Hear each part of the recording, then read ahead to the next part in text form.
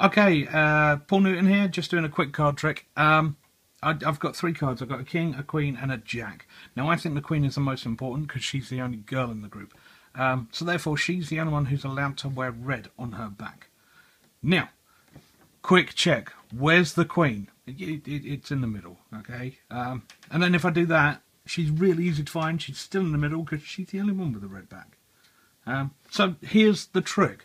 What we do is we turn the cards over, we put the queen in the middle of the table there, and I even check I've got these two, and I dump them to one side. So where's the queen? Everyone says it's always this one. Ladies and gents, I'm Paul Newton. I do magic.